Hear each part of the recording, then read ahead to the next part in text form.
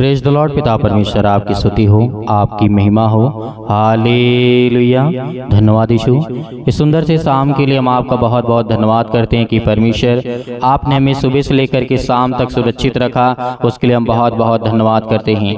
आपकी महिमा करते हैं, आपकी प्रशंसा करते हैं कि खुदावंद, आपने हमें चुना है, आपने हमें सुरक्षित रखा और हमें रात भर आप सुरक्षित रखेंगे, इसके लिए हम बहुत बहुत धन्यवाद करते हैं। आज मैं अपने बेटे के लिए, अपने बच्चे के लिए, अपने घर के लिए, अपने कामों के लिए, हर एक प्रकार की जो समस्याएँ मेरे जीवन में हैं, यीशु मसीह के नाम से, आज उसके पवित्र लहू के नाम से, आज हम दुआ और विनती और प्रार्थना और जो भी वचन आप पिता हमें देने जा रहे हैं, उसके लिए हम बहुत बहुत आपका धन्यवाद करते हैं कि खुदावन आपने हमें जीवन और श्वास दिया है। मेरे प्रिय भाई बहनों आज हमारे जीवन में कष्ट आता है, आज दुख है, तकलीफ़ है, परेशानियाँ हैं, लेकिन मेरी बात को याद रखिएगा, परमेश्वर का जो वचन आज आपकी ज़िंदगी में है। ये तो चार छह वचन आपकी ज़िंदगी में बहुत ज़रूरी है। यदि इस वचन को आप ध्यान से सुनते हैं, क्यों आपके जीवन में कष्ट आते हैं? क्या कभी आपने सोचा? क्या कभी आपने जाना कि मेरे जीवन में आखिर तकलीफ़ क्यों आती है? क्या मैं ऐसा करता हूँ? क्या मेरे जीवन में तकलीफ़ इतनी परेशानी क्यों आती है? और मेरे ही जीवन में ऐसा क्यों होता है? आपके जीवन में ऐसी बातें आपके मन में, आपके विचार में, आपके जहन में, ये बहुत सारी बातें आती हैं। लेकिन ध्यान से सुनिए, जिस तरीके यहुन्ना अध्याय पाँच और चौदह में लिखा है इन बातों के बाद, इन बातों के बाद वह यीशु को मंदिर में मिला। तब उसने उससे कहा, देख, तू चंगा हो गया है, फिर मैं पाप मत करना। यहाँ पे कहा गया है, फिर से पाप मत करना। ऐसा ना हो कि इससे कोई भारी विपत्ति तुझ पर आ पड़े। यहाँ पे यीशु मसीह ने कहा, एक व्यक्ति होता है कि तू जा चंगा हो गया। जैसे आज हम आपके लिए दुआ कर रहे हैं, आपके लिए प्रार्थना कर रहे हैं, आपके लिए विनती कर रहे हैं, आप सभी लोग एक दूसरे के लिए दुआ करते हैं, प्रार्थना करते हैं, विनती करते हैं। और आप में परमेश्वर ने आपको चंगा किया। कोई भी व्यक्ति हो। लेकिन प्रभु मसीह ने यहाँ पे उस व्यक्ति को आखिर ऐसा क्यों कहा? आज हमारे जीवन में दुख और तकलीफें, कष्ट इसीलिए आती हैं क्योंकि हम परमेश्वर के वचन को भूल जाते हैं। क्यों भूल जाते हैं? आज हमारे पेट में दर्द हो रहा है। अभी हम प्रार्थना करते हैं, दुआ करते हैं, ठीक हो जाएगा। उसके बाद हम भूल जाएँगे। नहीं, आपको भूलना नहीं है। आपको अपनी गवाही दूसरों को भी बताना है। छोटा सा भी दर्द क्यों ना हो? बड़ी से गवाही क्यों ना हो? चाहे कितनी भी छोटी छोटी गवाही हो, आपको बताना चाहिए। दूसरों को बताना चाहिए कि परमेश्वर ने मेरी ज़िंदगी में काम किया और मुझे आशीष दी। इससे आपका विश्वास बढ़ेगा और आपके जीवन में परमेश्वर बड़े बड़े काम करेगा। इसीलिए यीशु मसीह ने जब कहा कि जा, फिर से पाप मत करना, ऐसा ना हो कि इससे तू भारी विपत्ति में तुझ पर पड़े। अनेक प्रकार की तेरे अंदर बीमारियाँ आए। इससे स्पष्ट होता है कि उनके रोग का कारण पाप था। इस बात को हमें याद करना है, जो आज हमारे जीवन बीमारियाँ हैं, तकलीफें हैं, समस्याएँ हैं, आज अनेक प्रकार की समस्याएँ आज हमारे जीवन में हैं। तो इसका मतलब है कि मसीह ने कहा कि तुम पाप मत करना फिर से। ऐसा ना हो कि इससे बड़ी बीमारी, इससे बड़ी समस्या आपके जीवन में आए। तो इसका अर्थ यही होता है कि वो पाप के कारण था। आज हमारे जीवन में दुख आता है, कष्ट आता है तो इसका मतलब यही होता है। इसीलिए जब बात करते हैं कि मसीह ने कहा कि रोग का कारण पापी होता है। अड़तीस वर्ष से रोगी था। एक व्यक्ति था जो अड़तीस वर्ष से रोगी था। मरियम, जिस तरीके से हम बात करते हैं, गिनती अध्याय जिस तरीके से बारह और दस में लिखा है, वह कुड़कुड़ाने के पाप के कारण कोड़ से सफ़ेद हो गई थी। हालेलुया। वह मूसा के विरुद्ध कुड़कुड़ाई थी, जो परमेश्वर का सेवक था। आज हमें क्या करना है? आज हमें कुड़कुड़ाना नहीं है। अपने मन में ये नहीं सोचना कि क्या मेरा परमेश्वर मेरी ज़िंदगी में काम करेगा या नहीं करेगा। करेगा। आपके जीवन में आपके बच्चों को, आपके घर को, आपके जीवन को सबको संभालने वाला वो खुदा है। लेकिन आपको क्या करना है? अपने मन में शंका नहीं लाना। अपने मन में कुड़कुड़ाना नहीं है इसीलिए इस बात को याद रखिएगा। और राजा के पुस्तक में हम जब देखते हैं, दूसरा इतिहास जिस तरीके से, दूसरा इतिहास 16 और 12 में लिखा है। युवा काल में उसने परमेश्वर पर भरोसा रखा, परंतु बुढ़ापे में उसने परमेश्वर को इनकार कर दिया और प्रभु के नेतृत्व को अस्वीकार करने के कारण उसे पाँव के रोग का दंड दिया गया। हालेलुया। आज हम यूथ हैं, युवा हैं, जवान हैं, यंग हैं, आज हम भरोसा रखते हैं, विश्वास सकते हैं। लेकिन एक उदाहरण ये हमारी ज़िंदगी में बहुत ज़रूरी है कि देखिए, राजा जो था, राजा जो जिसका नाम था आशा, वो इतिहास के पुस्तक में मिलता है। और उसमें कहा भी गया था कि वो अपने युवा काल में परमेश्वर पर भरोसा रखता था, लेकिन जैसे जैसे वो बूढ़ा होता गया, उसने परमेश्वर का अनादर कर दिया। परमेश्वर को इनकार कर दिया, उसे अस्वीकार कर दिया गया, उसके पाँव के रोग का दंड उसे दिया गया। हालेलुया। इसीलिए आज हम अपनी ज़िंदगी में कोई भी काम करते हैं। तो सर्वप्रथम पहले हम परमेश्वर का धन्यवाद करें कि खुदावन, जो भी आपने काम किया हो जो भी किसी प्रकार का, उसमें आपको परमेश्वर बरकत आपको आशीष देगा। इसीलिए शिष्य ने पूछा, यीशु मसीह के चेलों ने पूछा, किसने पाप किया था? इस मनुष्य ने या इसके माता पिता ने जो ये अंधा पैदा हुआ? आज हमारे जीवन में कष्ट कैसे आते हैं? पाप के द्वारा। आज हमारे जीवन में चिंताएँ कैसे आती हैं? लेकिन एक बात ये भी, प्रभु सुमसी के जो चेले थे, उनके मन में चल रही थी, पाप ये व्यक्ति है। अब पाप ने पाप के बारे में जब यीशु मसीह ने कहा कि पाप के द्वारा आपके जीवन बीमारी आती, तकलीफ़ आती, दुख आता, संकट आता, मुसीबत आती है तो वहाँ पर चेलों के मन में एक सवाल आया, कहा, हे गुरु, हमें ये बताइए, जो ये व्यक्ति अंधा है, जो ये लड़का अंधा है, क्या इसने पाप किया? या फिर और जो इसके माता पिता हैं, उन्होंने पाप किया। ये किसकी पाप का सजा यह भुगत रहा है? तो परमेश्वर ने कहा, यीशु ने उन्हें चौंका देने वाला उत्तर दिया, किसी ने नहीं। यह इसलिए हुआ कि यीशु उन्हें चंगा कर सके। यदि आज आप बीमार हैं, आप तकलीफ़ में हैं, मुसीबत में हैं तो यीशु मसीह आपको चंगा करने के लिए आया है। आपको बीमारियों से मुक्त करने के लिए आया यीशु मसीह के नाम से। इसीलिए आपको घबराने की आवश्यकता नहीं है कि मेरी जीवन से बीमारी जाएगी कि नहीं जाएगी हमेशा के लिए जाएगी। और हमेशा के लिए आप सही होंगे क्योंकि परमेश्वर का वचन यहाँ पे वादा करता है कि मैं तुझे चंगा करूँगा। इसीलिए जब दूसरे लोग रोकी होते हैं तो निर्दया से उनका न्याय करते हुए या ना कहिए इनसे एक बार कौन सा पाप किया गया है।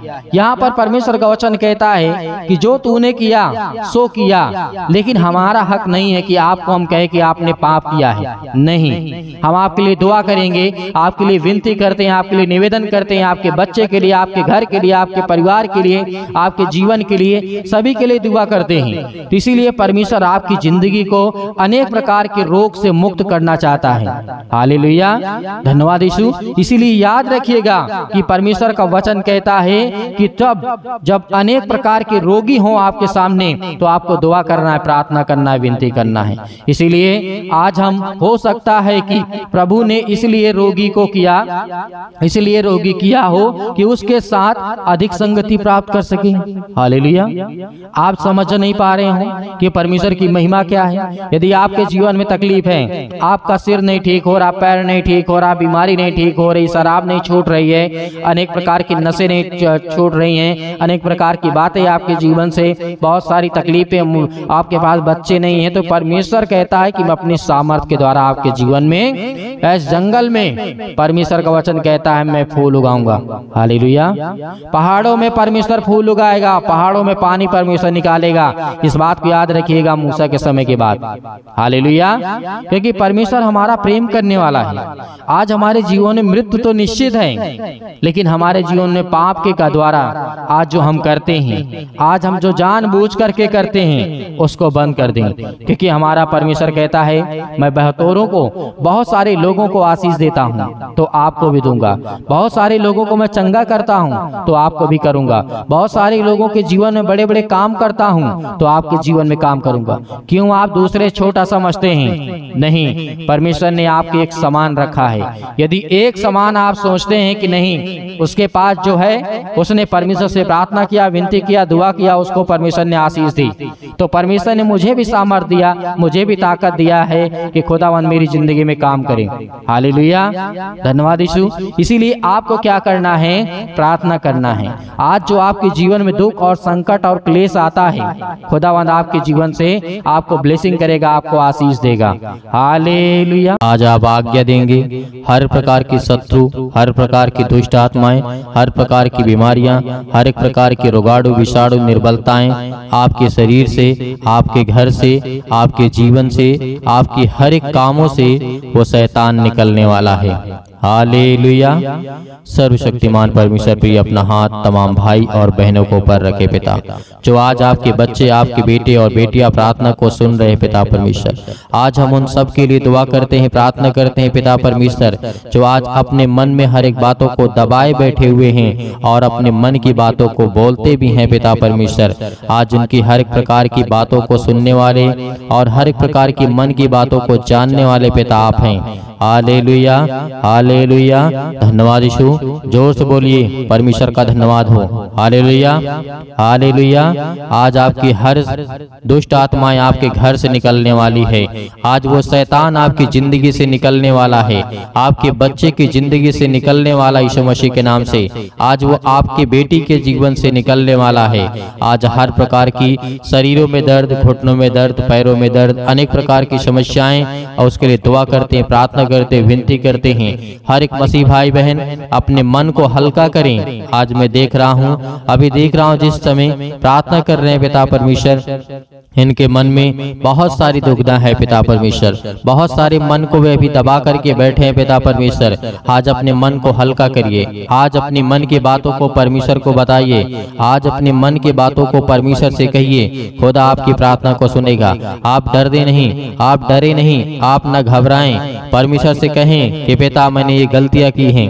मैंने अपराध किया है, मैंने गुनाह किया है, लेकिन तू सर्वशक्तिमान परमेश्वर है। तू राजा सुलेमान के जीवन में काम कर सकता है, दाऊद के जीवन में काम कर सकता है। दाऊद इतना बड़ा पाप किया था पिता परमेश्वर, लेकिन आपने उसके जीवन की हर एक मोमेंट को मोड़ दिया पिता परमेश्वर, और उसे सुधारने का मौका दिया। उसी तरीके में आज आपसे प्रार्थना और विनती करता हूँ। जिस तरीके से राजा दाऊद ने अपनी ज़िंदगी में गलतियाँ की, लेकिन पिता, आपने सजा दी और मैं ये कहता हूँ, पिता परमेश्वर, जो भी मैंने गलतियाँ की, उसे मुझे सजा दें, पिता परमेश्वर। लेकिन मेरे हर एक अपराध और गुनाहों को क्षमा करें और मुझे आशीष दें, मुझे बरकत दें। आज मेरे घर को संभाल, पिता परमेश्वर। याद करिए कि जिस तरीके से दानियल के जीवन में घटना घटती है नबुकत नेसा राजा के जीवन के घटना को लेकर के आप सोचिए। देखिए कि उस समय क्या घटना घटी रही होगी, क्या दिक्कतें आई होंगी। आज हम आज़ाद हैं, आज हम स्वतंत्र हैं, लेकिन फिर भी आज हम परमेश्वर से प्रार्थना नहीं करते, लेकिन फिर भी आज हम दुआ नहीं करते, लेकिन फिर भी आज हम उससे धन्यवाद नहीं करते, क्योंकि आज हम ये जानते हैं कि आज हम गुलाम बन चुके हैं, आज हम हर एक प्रकार से गुलाम हैं, शारीरिक रूप से नहीं, आज हम मानसिक रूप से गुलाम हैं। याद करिए उन सभी लोगों को जिस तरीके से पतरस को याद करिए, पतरस के जीवन में क्या हुआ था? याद करिए, पतरस ने तीन बार प्रभु यीशु मसीह को इनकार किया था, लेकिन क्या आज आप इनकार करते हैं? नहीं करते हैं, लेकिन परमेश्वर ने उसे फिर भी क्या किया? उसे परमेश्वर ने फिर समझ दी, ज्ञान दी, बुद्धि दी, उसके अपराधों को क्षमा किया। हालेलुया।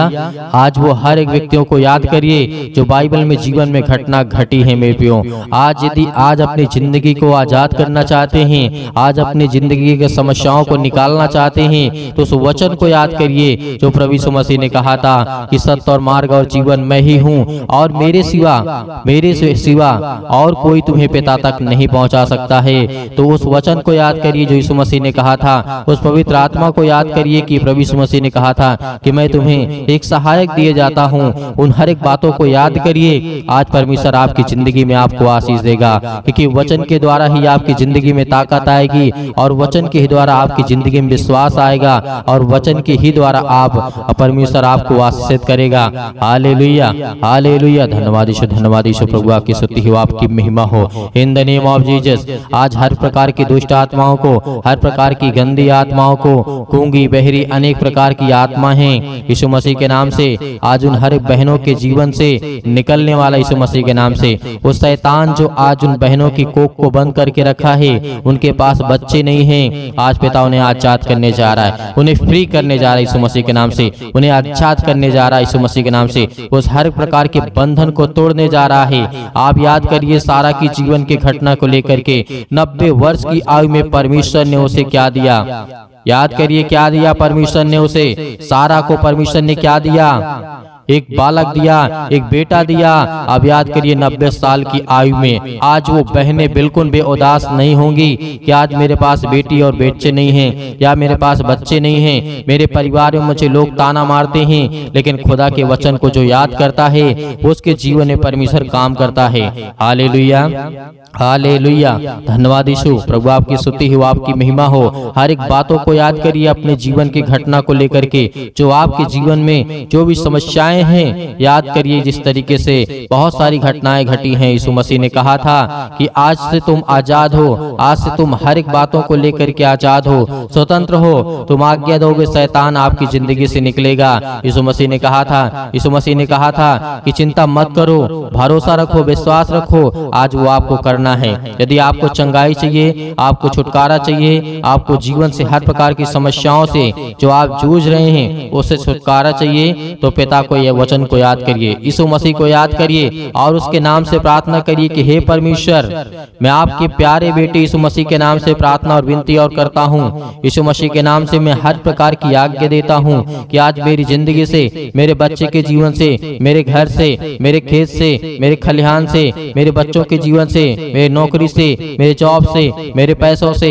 मेरे हर एक प्रकार की जो दुष्ट आत्माएँ गंदी आत्मा मेरे घर में है और दुष्ट आत्माएँ लड़ाई से झगड़े से अनेक प्रकार के दर्द से पैरों से घुटनों से पेटों में दर्द सिर में दर्द अनेक प्रकार की समस्याएँ अनेक प्रकार के कैंसर अनेक प्रकार के रुगाड़ू विषाणु निर्बलताएँ मेरी ज़िंदगी यीशु मसीह के नाम से निकल।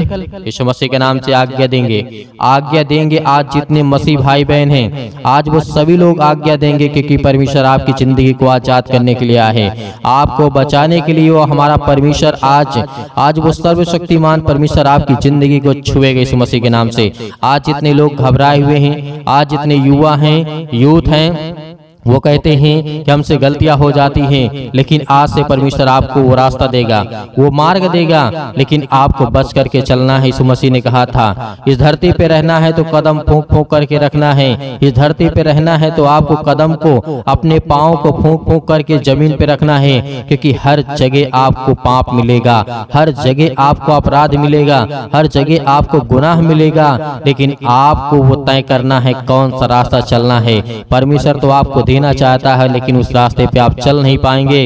लेकिन यीशु मसीह ने कहा, तुम कोशिश करो, क्योंकि परमेश्वर कहता है कि तुम विश्वास रखो और उस रास्ते पे चलो जिस रास्ते को मैं देता हूँ।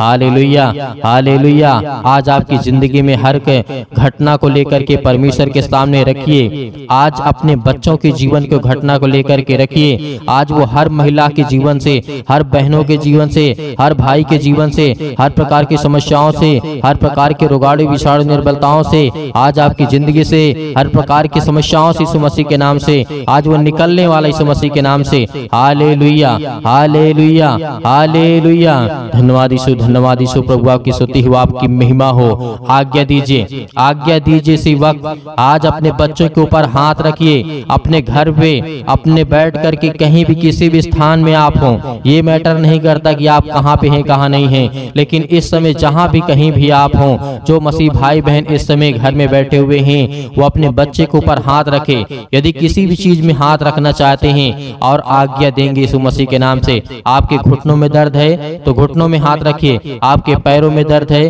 पैरों में हाथ रखिए। यदि आपके पेटों में दर्द है तो पेट पे हाथ रखिए। यदि आपके सिर में दर्द है तो सिर में हाथ रखिए। यदि आपके हाथों के कहीं भी किसी भी प्रकार के बॉडी के पार्ट्स में कोई भी दिक्कत है, आज जिन मसीह भाई बहनों की समस्या है और जिन बहनों के कोख को शैतान बंद करके रखा है। आज वो आज़ाद करने जा रहा है। आज वो हर प्रकार की फ्रीडम आपको देने जा रहा है। आज वो आपको शैतान आपकी ज़िंदगी से निकालने के परमेश्वर भगा देगा इस मसीह के नाम से। आज वो आपके जीवन शैतान निकलेगा।